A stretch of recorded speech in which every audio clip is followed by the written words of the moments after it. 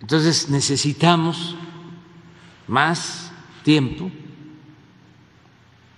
para eh, consolidar la Guardia Nacional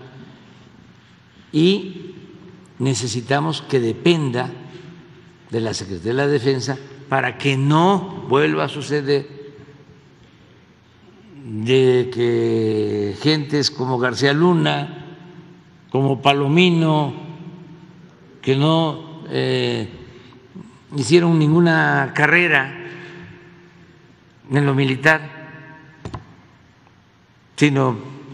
eh, en sus vidas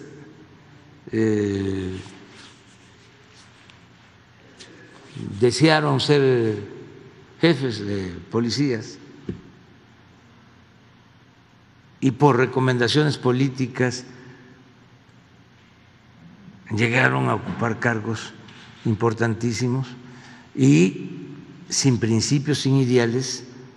pues se echaron a perder, no aguantaron las tentaciones del poder y eh, actuaron con prepotencia y se elevaron tanto que llegaron a tener muchísima influencia. Entonces, lo que queremos es profesionalizar, institucionalizar, moralizar la Guardia Nacional, que va a ser la institución más importante para garantizar la seguridad pública.